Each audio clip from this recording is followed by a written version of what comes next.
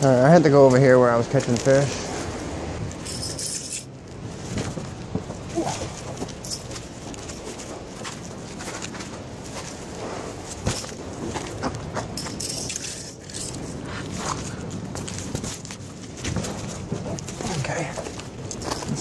Catch a fish.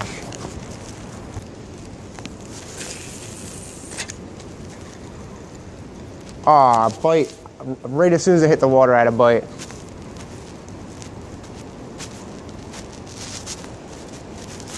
Got him. The bass. Woo!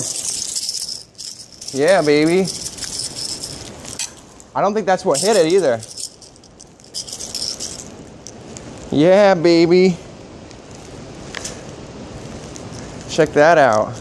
I, I don't think that's what hit it because it, what hit it was all the way on the bank and he hit it way close to me.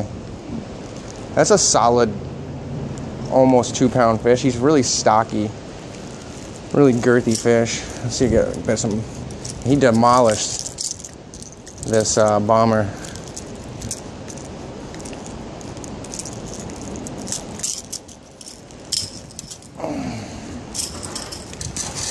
Better light on them.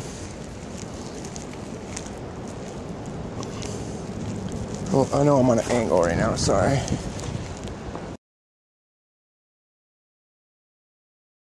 stocky. See if I can get a release on them from up here.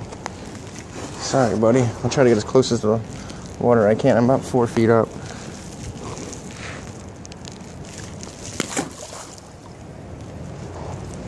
Oops. A little high up. Of course, I didn't have my camera on because uh, some low light conditions, and I wasn't expecting to catch anything. And I just get this buzzbait bass on a black skirted chartreuse uh, spinnerbait. I just got him right off that wall down that side down over there. Nice little chunky one pounder. Alright, I'm gonna release him.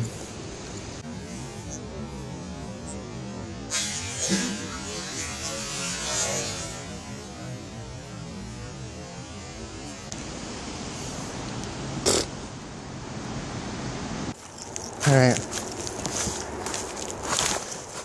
I got seven minutes to catch a fish. And I already spooked a few off. I don't know what they are or what they were.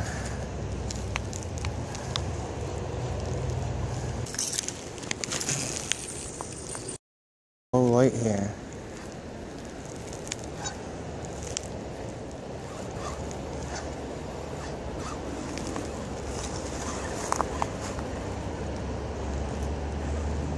Got one.